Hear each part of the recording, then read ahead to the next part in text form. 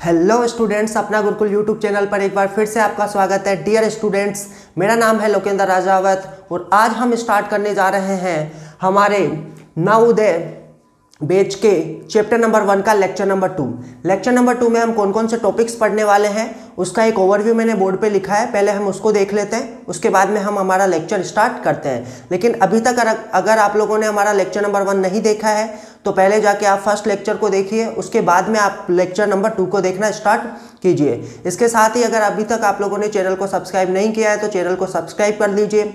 Bell icon को press कर दीजिए और इस वीडियो को अपने दोस्तों के साथ शेयर कीजिए, वीडियो को लाइक कीजिए। तो चलिए, पहले हम ओवरव्यू देख लेते हैं। तो आज के लेक्चर में हम तीन टॉपिक्स को मेजर कवर करने वाले हैं। साथ में कुछ क्वेश्चंस भी करेंगे। तो हमारे तीन टॉपिक्स होने वाले हैं। एक तो हम फ्रैक्शंस को पढ़ेंगे। वैसे तो आप लोगों ने सिक्स और सेवन्थ क्लास में भी फ्रैक्शंस पढ़ा होगा। यहाँ हम ज़्यादा नहीं पढ़ेंगे, केवल फ्रैक्शंस का एक सिंपल डेफिनेशन देखेंगे और एक दो एग्ज़ाम्पल से उसको समझने की कोशिश करेंगे। उसके बाद में हमारा जो टॉपिक होगा इंट्रोडक्शन टू रेशनल नंबर्स यानी हम रेशनल नंबर्स को पढ़ेंगे कि रेशनल नंबर होते क्या है कौन कौन से एग्जाम्पल्स हम देख एग्जाम्पल्स को भी हम लोग रेशनल नंबर एग्ज़ाम्पल से भी हम रेशनल नंबर को समझने की कोशिश करेंगे। इसके साथ ही हमारा जो लास्ट टॉपिक होगा, वो होगा इक्विवेलेंट रेशनल नंबर्स तो इन टॉपिक्स को हम इस वीडियो लेक्चर में कवर करेंगे तो चलिए शुरू करते हैं। तो हमारा सबसे पहला जो टॉपिक है, वो है फ्रैक्शंस क्या होते हैं? तो देखो फ्रैक्शन का सिंपल मीनिंग क्या होता है? मैं आप लोगों को यहाँ एक एग्जांपल से समझाता हूँ। जैसे ये हमारे पास एक पूरा पेपर है होल है होल यानी पूरा कंप्लीट है। इसमें से हमने क्या किया? एक ये छोटा सा पार्ट काट लिया। तो ये क्या है? एक पार्ट है। किसका? इस पूरे पेपर का। इस पूरे वाले एरिया का एक छोटा सा पार्ट हमने ले लिया, ये पेपर हो सकता है, कुछ और भी चीज़ हो सकती है। तो ये जो पार्ट होगा, यही क्या कहलाता है? एक फ्रैक्शन कहलाता है। तो फ्रैक्शन का सिंपल मतलब होता है किसी कंप्लीट चीज़ का एक छोटा सा पार्ट वो क्या कहलाता है? फ्रैक्शन तो मैंने लिख भी दिया है। फ्रैक्शन का मतलब होता है पार्ट ऑफ़ होल होल का मतलब कंप्लीट पूरा। तो पूरी चीज़ का कोई पार्ट होता है, वो क्या होता है? फ्रैक्शन होता है। तो इसका सिंपल मतलब ये होता है फ्रैक्शंस को क्या किया जाता है? ए बाई बी टाइप से रिप्रेजेंट किया जाता है। यहाँ ए को न्यूमिनेटर पढ़ा जाता है और बी को डिनोमिनेटर पढ़ा जाता है। इसको पढ़े, पढ़ेंगे कैसे? ए बाई बी या या ए अपॉन बी यहाँ बहुत इंपॉर्टेंट चीज़ है। ये दोनों कंडीशंस बहुत इंपॉर्टेंट है। वो ध्यान से देखना कि यहाँ ए और बी क्या है। यहाँ ए और बी है पॉजिटिव इंटीजर्स लास्ट लेक्चर में हमने पढ़ा है पॉजिटिव इंटीजर्स को क्या करते हैं? आई प्लस या जेड प्लस से रिप्रेजेंट किया जाता है। तो ये पॉजिटिव नंबर्स होने चाहिए, ठीक है? One two three four five इनमें से कोई नंबर होना चाहिए। साथ में जो डिनोमिनेटर है, ये कभी भी ज़ीरो नहीं होना चाहिए। आगे किसी लेक्चर में आप लोगों को बताऊँगा, हम लोग ज़ीरो से डिनोमिनेटर जी मतलब कि ज़ीरो से डिवाइड क्यों नहीं करते या डिनोमिनेटर में कभी भी ज़ीरो क्यों नहीं रखते? हैं एक्चुअल में जब हम ज़ीरो डिनोमिनेटर में रखते हैं तो इसका जो आंसर आता है, वो नोट डिफाइंड हो जाता है इनफाइनाइट हो जाता है। तो हम बोलेंगे कि इसलिए हमने कंडीशन शुरू में ही फिक्स कर दी है कि डिनोमिनेटर ज़ीरो नहीं होना चाहिए। और ए और बी क्या होना चाहिए? पॉजिटिव नंबर इंटीजर होना चाहिए। तो हम क्या बोलेंगे कि वो जो नंबर बनेगा ए बाई बी टाइप का, वो क्या कहलाएगा? एक फ्रैक्शन होगा। एक चीज़ और मैंने अभी बताई कि ए और बी दोनों पॉजिटिव है तो जो फ्रैक्शंस होंगे, वो हमेशा क्या होंगे? पॉजिटिव होंगे। इसका मतलब फ्रैक्शन कभी की वैल्यू कभी भी नेगेटिव में नहीं होगी। जैसे कभी नहीं बोल सकते कि ये टुकड़ा माइनस वन बाई टू टुकड़ा है। तो इसका कोई सेंस नहीं है। तो एक चीज़ ध्यान रखना फ्रैक्शंस हमेशा पॉजिटिव होते हैं। इसके साथ ही देखो एग्ज़ाम्पल यहाँ लिख रखे हैं, जैसे five by two one by three seven by eleven तो इन तीनों के अंदर देखो A by B A by B A by B type का है। ए और बी दोनों के दोनों पॉजिटिव भी दिख रहे होंगे आप लोगों को। इसके साथ ही डिनोमिनेटर किसी का भी ज़ीरो नहीं है। तो ये तीनों किसके एग्ज़ाम्पल है? फ्रैक्शंस के एग्ज़ाम्पल है। आई होप आप लोगों को फ्रैक्शन का मतलब समझ में आ गया होगा। अब यहाँ पे तीन मेजर टाइप के फ्रैक्शंस है जिनको हम यूज़ करते हैं, वो भी हम एक बार देख लेते हैं। तो सबसे पहला है प्रॉपर फ्रैक्शन अब प्रॉपर फ्रैक्शन किसको बोलते हैं?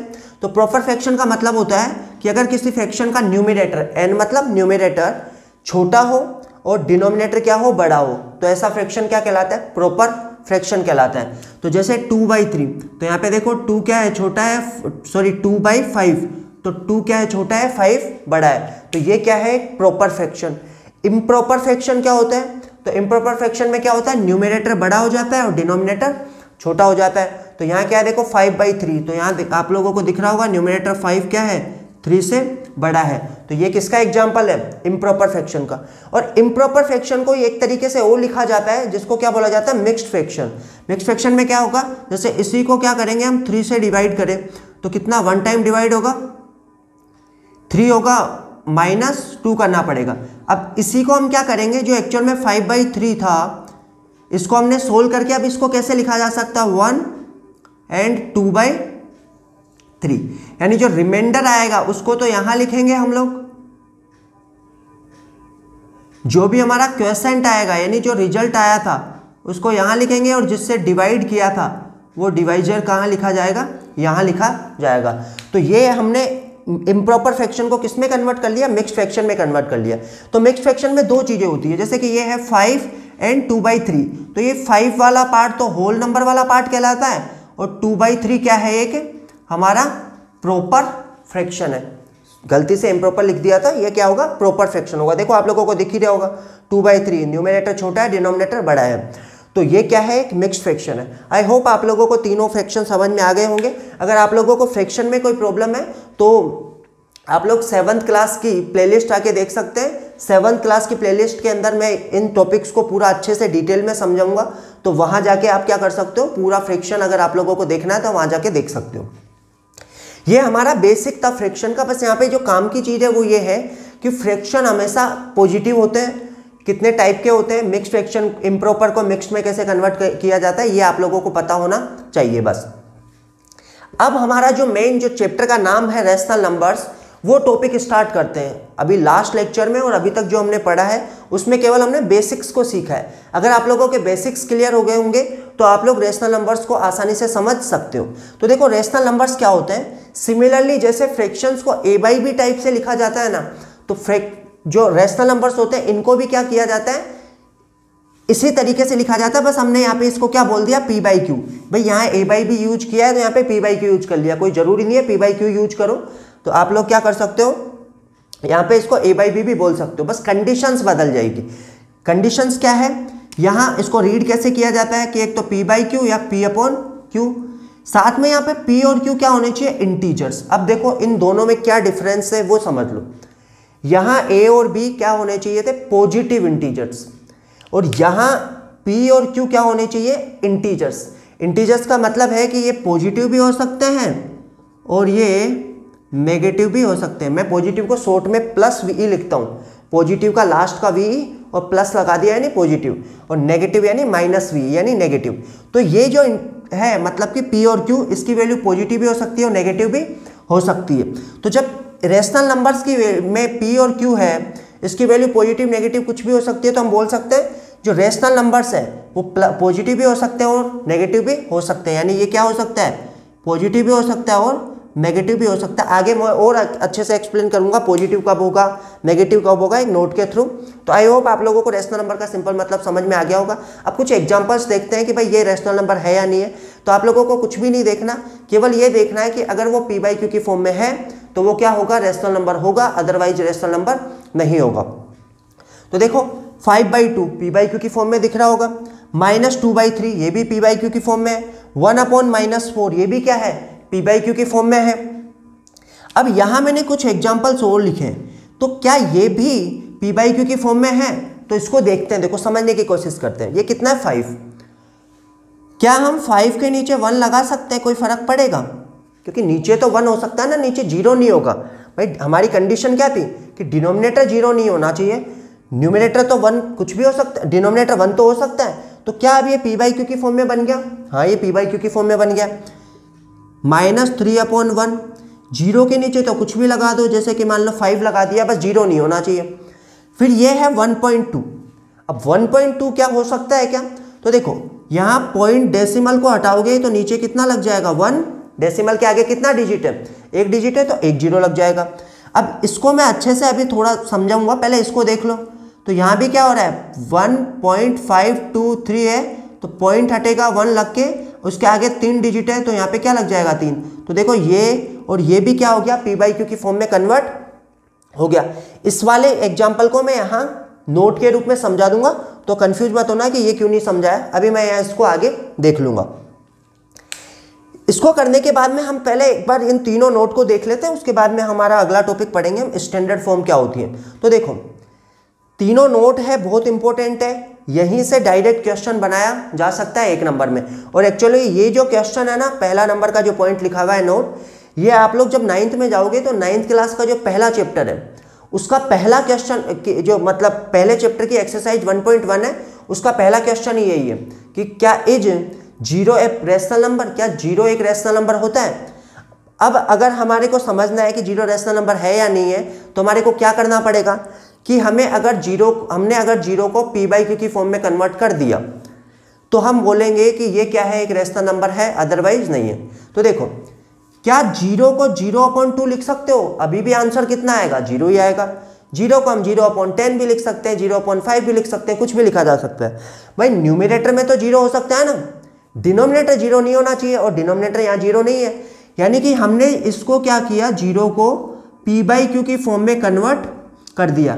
और अगर ज़ीरो पी बाई क्यू की फॉर्म में कन्वर्ट हो गया है तो हम बोलेंगे ज़ीरो क्या होता है? एक रेशनल नंबर होता है। मैंने शॉर्ट में लिखा आर एन मतलब रेशनल नंबर आई होप आप लोगों को ये बात समझ में आ गई होगी। तो कोई भी पूछे कि ज़ीरो क्या रेशनल नंबर होता है, कि हाँ ज़ीरो एक रेशनल नंबर होता है, क्योंकि उसके डिनोमिनेटर में ज़ीरो के अलावा कोई भी नंबर रख के हम पी बाई क्यू की फॉर्म में कन्वर्ट कर सकते हैं।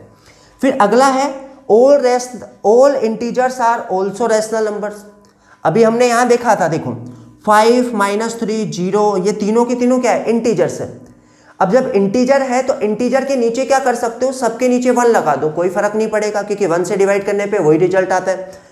तो सब सभी इंटीजर्स के नीचे वन लगा के उनको पी बाई क्यू की फॉर्म में क्या किया जा सकता है? कन्वर्ट किया जा सकता है। तो हम बोल सकते हैं, जितने भी इंटीजर्स होते हैं, वो सारे के सारे रेशनल नंबर्स होते हैं। लेकिन इसका उल्टा सही नहीं होगा।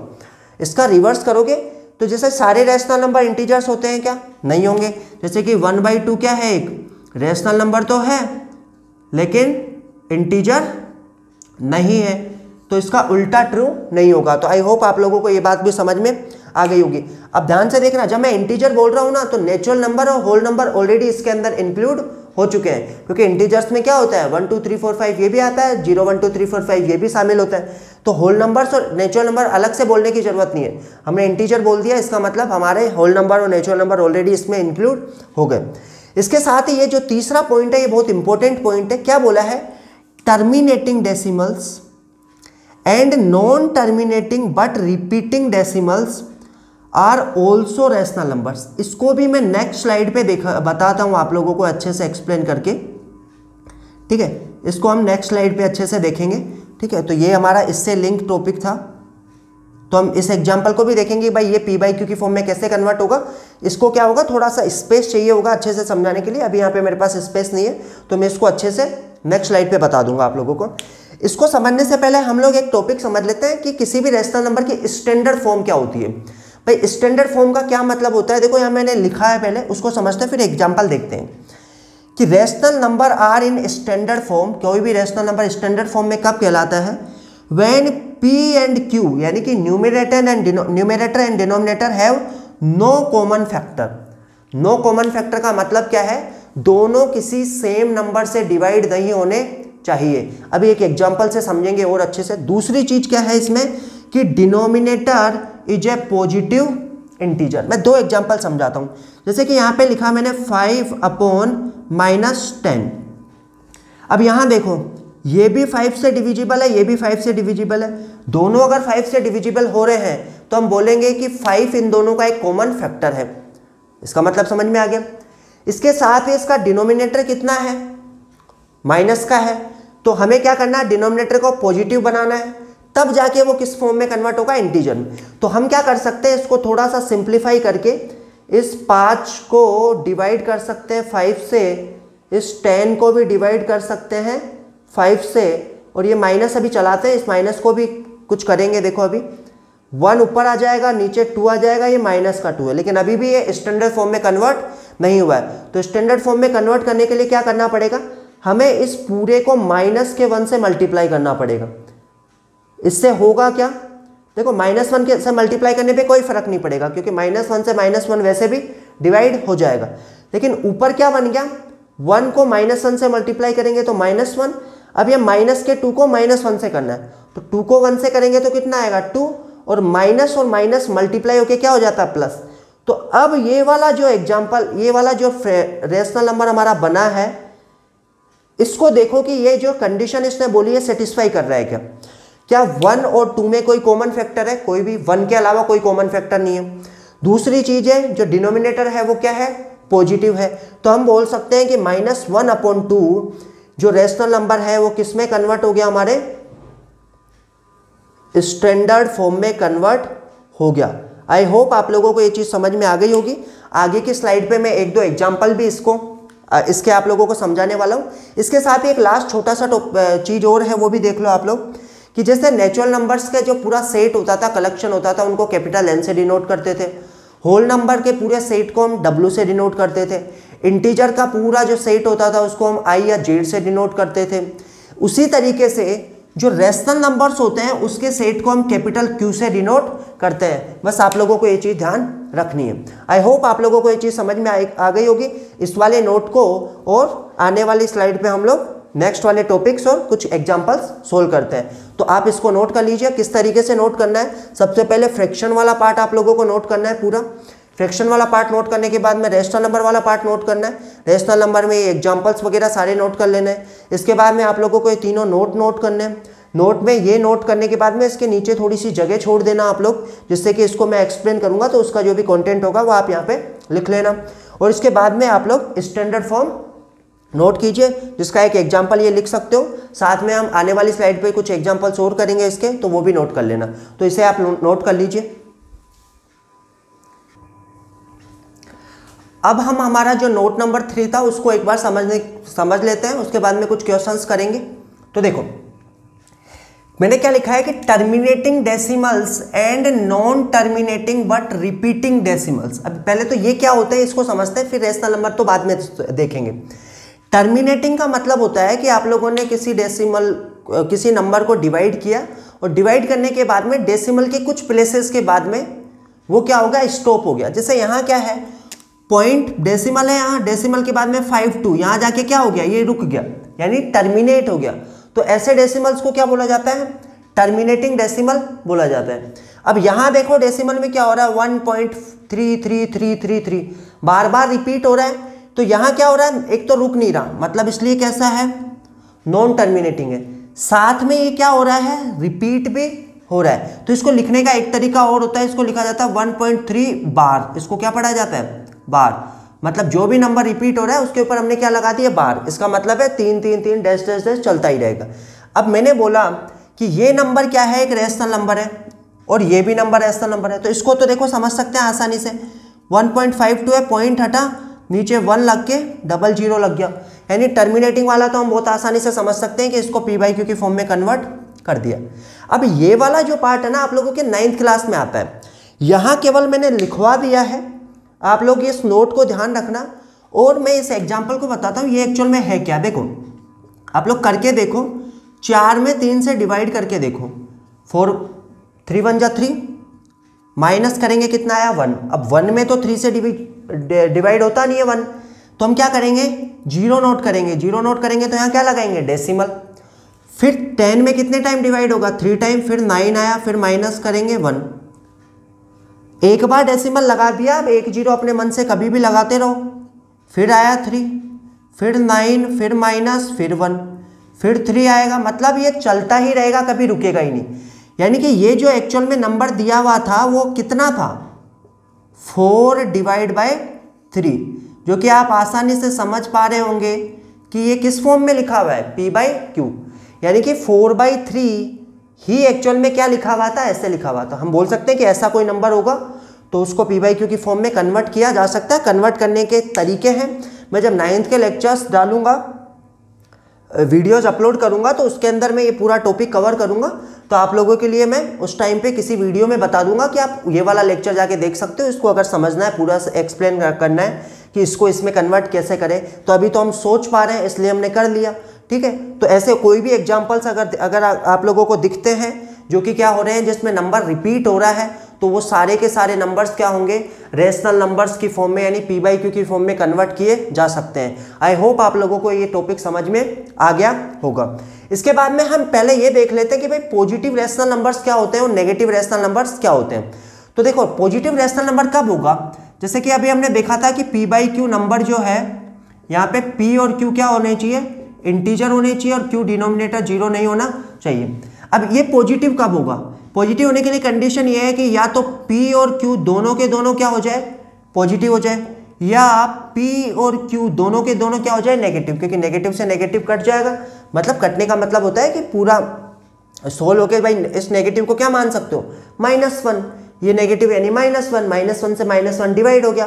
तो अगर दोनों के साइन सेम है, यानी कि P और Q अगर है बोथ है सेम साइन बोथ है सेम साइन अगर दोनों के सेम साइन है तो हम बोलेंगे कि जो रेशनल नंबर होगा, वो कैसा होगा? पॉजिटिव होगा। नेगेटिव के लिए क्या कंडीशन है? जैसे फॉर एग्ज़ाम्पल जैसे फाइव बाई टू है, ये पॉजिटिव है। Minus two by minus three ये भी पॉजिटिव है। क्यों? क्योंकि माइनस से माइनस कट जाएगा। फाइनल आंसर कितना आएगा? Two by three I hope आप लोगों को ये चीज़ समझ में आ गई होगी। अब आगे हम देखते हैं नेगेटिव रेशनल नंबर क्या होता है। तो नेगेटिव रेशनल नंबर में क्या होगा? जैसे एक नेगेटिव है और एक पॉजिटिव है। या एक पॉजिटिव है और एक नेगेटिव है, ध्यान रखना पॉजिटिव में लिख रहा हूँ, वहाँ पे ज़रूरी नहीं है कि वहाँ पे प्लस फाइव लिखा हुआ हो जैसे यहाँ दोनों में देखोगे फाइव और टू में कोई प्लस नहीं लगाया। लेकिन जब जहाँ कुछ भी साइन नहीं होता, वो किसका माना जाता है? पॉजिटिव माना जाता है। तो ये दोनों के दोनों क्या होंगे? नेगेटिव होंगे। ठीक है? तो जब हम बोलेंगे पी और q both have different sign अगर दोनों के साइन क्या है? डिफरेंट है तो हम बोलेंगे कि वो क्या होंगे? नेगेटिव रेशनल नंबर्स होंगे। फॉर एग्ज़ाम्पल जैसे कि माइनस फाइव बाई टू हो गया या थ्री बाई माइनस फोर हो गया एक्सेट्रा ये क्या है हमारे? नेगेटिव रेशनल नंबर है। तो कभी पूछा जाए कि कोई भी रेशनल नंबर पॉजिटिव कब होगा? जब पी और क्यू यानी न्यूमिनेटर और डिनोमिनेटर सेम साइन के होंगे। नेगेटिव कब होगा? जब न्यूमिनेटर और डिनोमिनेटर डिफरेंट साइन के होंगे। आई होप ये टॉपिक भी आप लोगों को समझ में आ गया होगा। अब हम दो क्वेश्चंस करते हैं। दो क्वेश्चन से पहले समझते हैं, अभी तक हमने जो पढ़ा है वो, फिर नेक्स्ट स्लाइड पे हम लोग इक्विलेंट रेशनल नंबर्स को पढ़ेंगे। ठीक है तो देखो पहले ये वाला क्वेश्चन करते हैं कि which of the following is true तुम्हारे को चार स्टेटमेंट दिए हुए हैं, इनमें से कौन सा सही है, ये हमारे को पता करना है। तो हम क्या करेंगे, अभी तक जितना भी पढ़ा है, उन सभी नोट वगैरह को हम यहाँ पे अप्लाई करने की कोशिश करेंगे। अगर जहाँ वो अप्लाई हो जाता है, वो वाला ट्रू हो जाएगा, और जहाँ अप्लाई नहीं होता है, वहाँ पे रोंग होगा वो। ठीक है फॉल्स होगा। तो every integer is a whole number अब उसने क्या बोला? जितने भी इंटीजर है, वो होल नंबर होते हैं क्या? अब देखो, समझने की कोशिश करो भाई इंटीजर होते क्या है? Minus three dash dash dash आगे तक चलते रहेंगे इधर भी। Minus one zero one two three whole number क्या होते हैं? Zero one two three dash dash अब ये क्या बोल रहा है कि every integer is a whole number मतलब क्या सारे के सारे ये यहाँ आ रहे हैं क्या? आप लोग आसानी से समझ पा रहे होंगे, केवल इतने ही तो आ रहे हैं इधर। ये थोड़ी ना आ रहे हैं। तो हम बोलेंगे कि ये जो स्टेटमेंट उसने बोला है, वो बिल्कुल रॉन्ग स्टेटमेंट है। ये चीज़ समझ में आ गई होगी आपके। फिर क्या बोला? Every rational number is an integer अभी ये लास्ट स्लाइड पे मैं ऑलरेडी पढ़ा चुका हूँ कि जैसे कि एक रेशनल नंबर है, जैसे मान लो कि फाइव बाई टेन इसको सोल्व किया तो कितना आया? वन अपॉन टू क्योंकि ये भी फाइव से वन टाइम डिवाइड हो गया, ये टू टाइम हो गया। ये रेशनल नंबर तो है, लेकिन क्या ये इंटीजर है? ये इंटीजर नहीं है। लेकिन वो क्या बोल रहा है कि जितने भी रेशनल नंबर होते हैं, वो सारे के सारे क्या होते हैं? इंटीजर होते हैं। ये देखो, एक एग्जांपल से हमने इसको क्या कर दिया? गलत प्रूफ कर दिया। मतलब ये क्या बता रहा है? गलत बता रहा है। तीसरा स्टेटमेंट है every integer is a rational number हाँ हम बोल सकते हैं जितने भी इंटीजर है, वो सारे के सारे रेशनल होंगे। कैसे? जैसे minus three minus two minus one zero one two ये डैश डैश डैश सबके नीचे क्या लगा दो? वन लगा दो। तो क्या सारे के सारे अब ये पी बाई क्यू के फॉर्म में कन्वर्ट हो गए? यानी कि जितने भी इंटीजर होते हैं, वो सारे के सारे रेशनल नंबर होंगे, ये स्टेटमेंट बिल्कुल ट्रू है। फोर्थ भी देख लेते हैं कि एवरी डब्ल्यू डब्ल्यू मतलब whole number is a rational वो नेचुरल नंबर क्या सारे के सारे होल नंबर्स नेचुरल नंबर होते हैं? तो ये भी हम देखते हैं, देखो। यहाँ नेचुरल नंबर भी लिख देता हूँ मैं। नेचुरल नंबर क्या होते हैं? वन टू थ्री फोर ये नेचुरल नंबर्स होते हैं। अब उसने क्या बोला है? सारे के सारे होल नंबर्स नेचुरल नंबर होते हैं। तो क्या ये सारे के सारे यहाँ आ रहे हैं? आप लोग अच्छे से समझ पा रहे होंगे कि ज़ीरो यहाँ नेचुरल नंबर्स में नहीं आ रहा।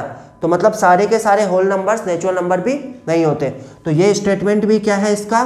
फॉल्स स्टेटमेंट है। तो हम बोलेंगे कि जो सी होगा, ये हमारा सबसे ट्रू स्टेटमेंट होगा, यानी कि ये हमारा आंसर हो जाएगा। आई होप आप लोगों को ये चीज़ समझ में आ गई होगी।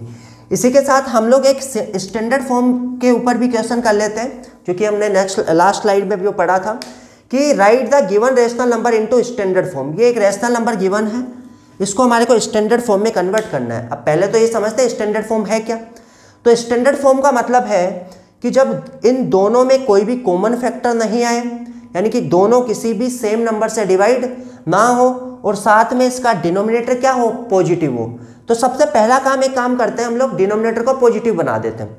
तो डिनोमिनेटर को पॉजिटिव कैसे बनाएँ? तो इसके लिए हम क्या करते हैं, ऊपर भी माइनस वन से मल्टीप्लाई कर देते हैं, नीचे भी माइनस वन से मल्टीप्लाई कर देते हैं। माइनस वन से मल्टीप्लाई करने पे कोई फ़र्क नहीं पड़ेगा, क्योंकि माइनस वन से माइनस वन फिर डिवाइड हो गया, ज़ीरो हो गया तो मतलब वन आ गया इसका आंसर तो। फिर ट्वेंटी फोर को माइनस वन से मल्टीप्लाई करेंगे, माइनस ट्वेंटी फोर। ये माइनस और माइनस प्लस हो जाएगा, थर्टी वन को वन से, थर्टी सिक्स को वन से किया तो थर्टी सिक्स। ये हमने डिनोमिनेटर को तो पॉजिटिव बना लिया, लेकिन अभी स्टैंडर्ड फॉर्म नहीं बनी। तो अब देखो कि क्या कोई दोनों, ये दोनों न्यूमिनेटर और डिनोमिनेटर किसी सिंगल नंबर से, किसी एक नंबर से डिवाइड हो रहे हैं या नहीं हो रहे तो अगर आप सोच पा रहे होंगे तो देखो दो से भी सोच पा रहे होंगे। मैं डायरेक्ट बताता हूँ, ये ट्वेल्व से भी डिविजिबल है और ये भी ट्वेल्व से डिविजिबल है। तो हम क्या करेंगे? दोनों नंबर्स को ट्वेल्व से डिवाइड कर देंगे। तो इसको ट्वेल्व से डिवाइड करेंगे तो माइनस टू आया और इसको ट्वेल्व से डिवाइड किया तो थ्री आया। अब ये दोनों नंबर किसी भी सेम नंबर से डिवाइड नहीं होंगे। तो हम बोल सकते हैं जो माइनस टू बाई थ्री आई है, यही हमारी क्या होगी? इस वाले क्वेश्चन की स्टैंडर्ड फॉर्म होगी। आई होप आप लोगों को ये चीज़ समझ में आ गई होगी। इसे भी आप नोट कर लीजिए। अगले स्लाइड पे हम लोग इक्विलेंट रेशनल नंबर्स और उसके ऊपर कुछ क्वेश्चंस करेंगे। अब हम देखते हैं हमारा नेक्स्ट टॉपिक जिसका नाम है इक्विवेलेंट रेशनल नंबर्स अभी इक्विवेलेंट रेशनल रेशनल नंबर्स क्या होते हैं? इसको समझने से पहले एक एग्जांपल को समझते हैं। तो देखो, हमारे पास दो आदमी हैं ए और बी ठीक है? कोई भी दो जने हो सकते हैं ए बी ए बी और एक चपाती है, ठीक है? कुछ भी हो सकता है, पिज़्ज़ा हो जा, हो सकता है या फिर चपाती है, कोई भी चीज़ हो सकती है। हमें क्या करना है? इन दोनों के अंदर बंटवारा करना है, ठीक है? दोनों को बांटना है। कि भाई दोनों को बराबर बराबर मिलना चाहिए। तो इस बंटवारा करने का मैंने तीन तरीके निकाले। तीन तरीके क्या हो सकते हैं? मैंने क्या किया? इस चपाती के दो इक्वल पार्ट्स किए। दो इक्वल पार्ट में से एक पार्ट इसको दे दिया और एक पार्ट इसको दे दिया। ये फ्रैक्शन को लिखने का तरीका है। ये आप लोगों ने फिफ्थ सिक्स सेवन्थ क्लास में पढ़ा होगा कि भाई पिक्चर की फॉर्म से फ्रैक्शन में कैसे कन्वर्ट करते हैं। ठीक है? फिर मेरा मन किया, नहीं नहीं, इसको एक काम करते हैं। दो टुकड़े नहीं करते हैं। चार टुकड़े कर देते हैं इसके और चार पार्ट्स करके चार में से दो पार्ट इसको दे देते हैं और चार में से दो पार्ट इसको दे देते हैं। फिर नहीं यार, मज़ा नहीं आया अभी। फिर एक काम करते हैं कि आठ पार्ट कर लेते हैं और आठ पार्ट करके आठ में से चार पार्ट इसको दे देते हैं और आठ में से चार पार्ट्स इसको दे देते हैं। मैंने तीन तरीके से बंटवारा किया ठीक है? अब लास्ट में मैं आप लोग अच्छे से ध्यान से देखोगे तो आप लोग ये चीज़ नोटिस करोगे कि मैं कैसे भी करूँ टुकड़े। ऐसा करके बंटवारा करूँ, ऐसा करके करूँ या ऐसा करके करूँ। यहाँ आप चीज़ नोटिस करोगे कि तीनों बार में उसको आधी आधी चपाती तो मिली है। अभी भी आधी चपाती मिली अभी भी आधी चपाती, अभी भी आधी चपाती है। यानी कि मैं अगर उसको वन अपॉन टू दूँ, या फिर टू अपॉन फोर दूँ, या फिर फोर अपॉन एट दूँ क्या ये तीनों के तीनों बराबर नहीं है? तीनों आधे आधे ही तो हैं। यानी कि यहाँ जो ये तीनों मैंने लिखे हैं ना आप लोगों के लिए रेशनल नंबर्स टाइप या फ्रैक्शन समझ सकते हो पॉजिटिव है इसलिए। ये एक्चुअल में है क्या? ये तीनों के तीनों कहलाते हैं हमारे? इक्विवेलेंट फ्रैक्शंस या फिर रैशनल नंबर्स आई होप आप लोगों को इसका मतलब समझ में आ गया होगा। इक्विवेलेंट का मतलब होता है, जितने भी रैशनल नंबर होंगे वो आपस में बराबर होंगे। ठीक है?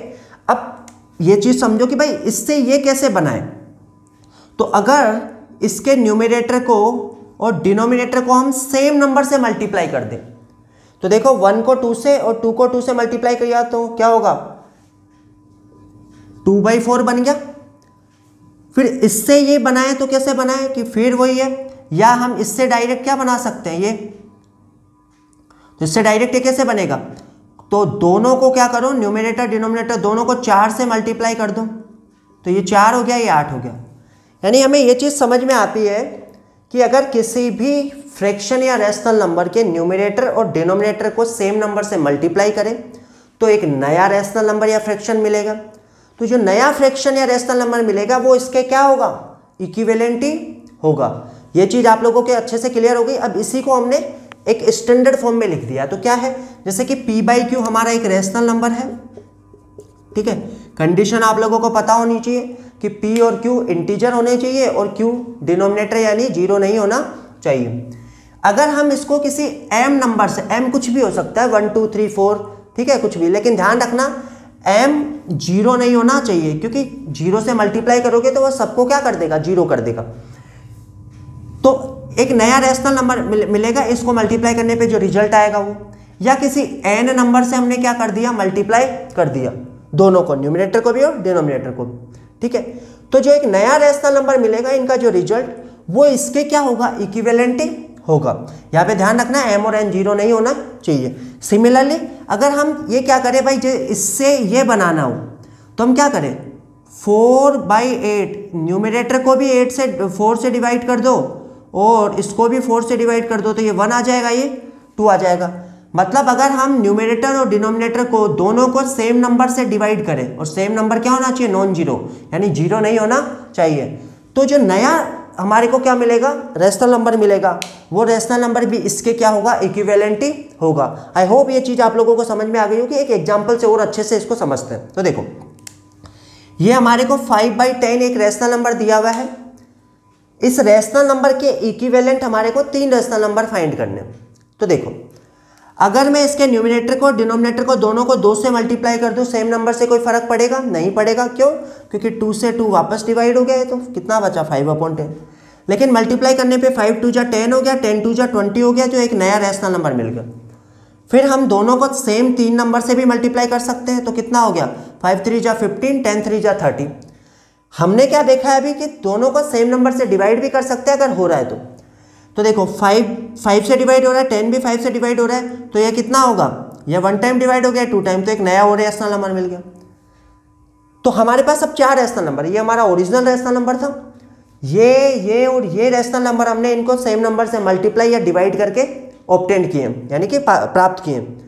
तो अब ये जो चारों के चारों रेशनल नंबर है ना, ये चारों के चारों रेशनल नंबर क्या कहलाएँगे? इक्विवेलेंट रैशनल नंबर्स कहलाएँगे। आई होप आप लोगों को ये चीज़ समझ में आ गई होगी। इसके बाद में हम यहाँ एक और एग्ज़ाम्पल करते हैं। तो देखो दो एग्जाम्पल्स को भी सोल्व कर लेते हैं इन क्वेश्चंस को। क्या बोला है? इसके इक्विवेलेंट हमारे को इन दोनों रेशनल नंबर्स के इक्विवेलेंट तीन तीन इक्विवेलेंट रेशनल नंबर्स फाइंड करने। तो सबसे पहला वाला पिक करते हैं हम, जैसे ट्वेल्व बाई फिफ्टीन तो एक तो क्या कर सकते हो? दोनों को दो से मल्टीप्लाई कर दो। तो क्या आएगा? Twenty four divide by thirty. फिर एक काम कर सकते हो, दोनों को थ्री से मल्टीप्लाई कर दो। तो क्या आ जाएगा? Thirty six divide by forty five. और अगर किसी से डिवाइड हो रहा है तो डिवाइड भी कर सकते हो। तो देखो, मुझे दिख रहा है, ये भी तीन से डिवाइड हो रहा है, ये भी तीन से डिवाइड हो रहा है तो ये चार बार डिवाइड होगा, ये पाँच बार। तो हमने तीन क्या किया है? इक्वेलेंट रेशनल नंबर्स फाइंड कर लिए। आई होप ये चीज़ आप लोगों को समझ में आ गई होगी। एक ये वाला नंबर भी हम देख लेते हैं। तो देखो, यहाँ पे सबसे पहले क्या होगा? माइनस फाइव बाई सेवन है। दोनों को पहले दो से मल्टीप्लाई कर लो। तो ऊपर हो गया माइनस का टेन, नीचे हो गया फोर्टीन। फिर दोनों को क्या कर लो? तीन से मल्टीप्लाई कर लो। ठीक है? तो ये क्या हो गया? माइनस फिफ्टीन और minus oh, sorry, twenty one. फिर चाहो तो अब देखो ये दोनों किसी से डिवाइड नहीं हो रहे तो हम डिवाइड नहीं कर सकते इसको। तो क्या कर सकते हो? किसी और से मल्टीप्लाई कर लो, जैसे पाँच से करके देख लो। तो एक नया मिलेगा minus twenty five divide by thirty five तो ये जो तीनों रेशनल नंबर्स हमें मिले हैं, ये तीनों के तीनों रेशनल नंबर्स क्या होंगे? इस वाले रेशनल नंबर के इक्विवेलेंट रेशनल नंबर्स होंगे। आई होप ये चीज़ आप लोगों को समझ में आ गई होगी। ये भी आप लोग नोट कर लीजिए। अगर आप लोगों को वीडियो अच्छा लगा तो वीडियो को लाइक कीजिए, अपने दोस्तों के साथ शेयर कीजिए। अगर कोई प्रॉब्लम है कोई टॉपिक समझ में नहीं आया है कोई एग्ज़ाम्पल समझ में नहीं आया है तो आप हमें कमेंट करके बता सकते हैं। और अगर अभी तक आप लोगों ने अगर चैनल को सब्सक्राइब नहीं किया है तो चैनल को सब्सक्राइब कीजिए और बेल आइकन को दबा लीजिए जिससे कि आन, आगे आने वाले हमारे जितने भी लेक्चर्स होंगे उसके नोटिफिकेशन आपको मिल जाएँगे। तब तक के लिए थैंक यू